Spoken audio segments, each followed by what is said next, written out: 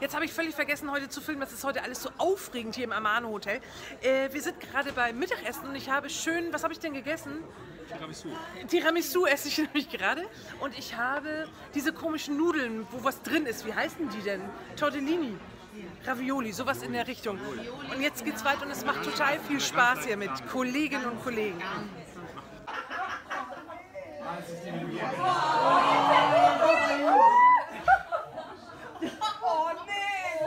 Davon.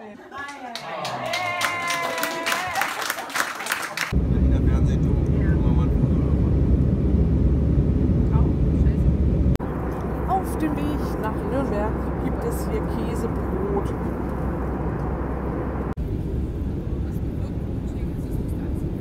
Boah, jetzt bin ich aber auch ganz schön geschlaucht nach so zwei Tagen hier Foro in Berlin. Jetzt sitze ich in Nürnberg im Motel One und es gibt was Leckeres Kleines zum Abendbrot. Kleine Snacks. Gute Nacht.